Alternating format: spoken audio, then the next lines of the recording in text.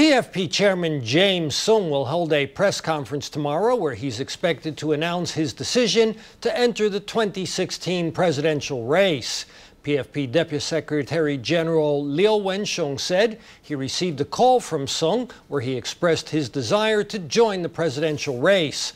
Soong's decision apparently won't deter KMT Chairman Eric Chu from seeking opportunities to cooperate with the PFP.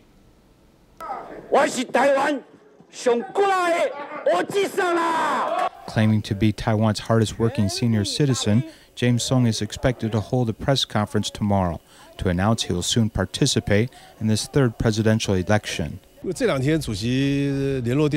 Over the past two days, when we've talked on the phone, he has expressed his desire to join the election. He's ready. Some DPP legislators have compared Soong's candidacy to a super typhoon, and as fate would have it, Typhoon Soudelor is actually expected to soon arrive. The KMT is now bracing for impact. We will definitely never give up peace and won't give up hope for cooperation. We definitely won't seek to end cooperation. Don't just keep talking. Chu went as far as China, but he won't go and see Soong.